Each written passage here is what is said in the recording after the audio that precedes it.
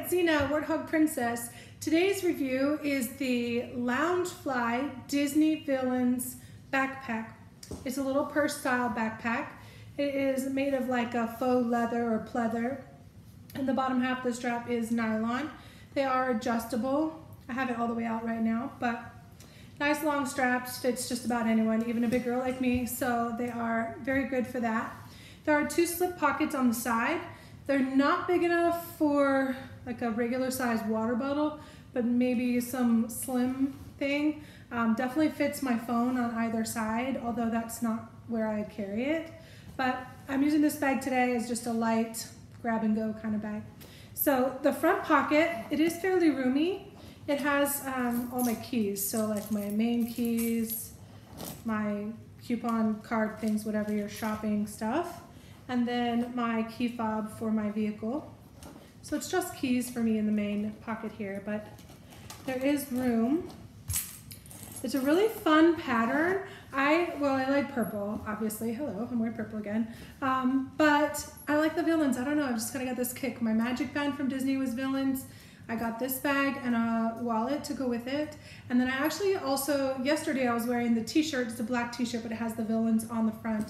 So I've kind of made myself a nice little set there, but it's good even when you're not at Disney. So there you go. Um, but villains, fun with purple.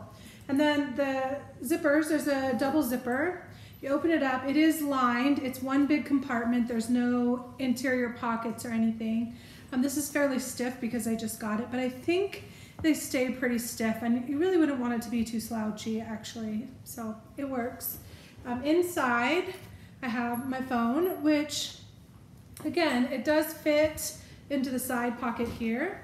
It's a nice, safe, secure fit. It's not just gonna slip out or anything, and it does grab out fairly nicely. The only problem is, is the zippers go down right there. So if you put it screen side in, you're gonna scratch up your even with just a zipper, you might scratch it up. And if you put it screen side out, well, now then it's not protected. So that's why I don't put mine there, but you know, do whatever you want. So phone, and then I have my all-in-one wristlet. I've been using this one for a week now, just trying to break it in and get a feel for it because this is the one I'm gonna take on my trip coming up next month. And I have it currently set up as wristlet slash wallet. And Normally I put the phone in the front pocket here, which fits very nicely. So really, technically, this could be my grab and go. But I wanted to be hands-free and I had a few other things to take along, so um, the non-purse things I've already cleared out. But in here today, the other thing I have is hand sanitizer and my Bose earbud, whatever they call them. So that's it on the inside. So real short one today, but everything just fits real nicely right in there. You just throw it in and off you go. So yay. It's, it's not like extra lightweight actually. The bag itself is kind of heavy. So um, if you're sensitive to that kind of thing, then just something to be aware of. But fun little bag. It's not Vera, but I'm enjoying it. So that's all for this one. Bye for now.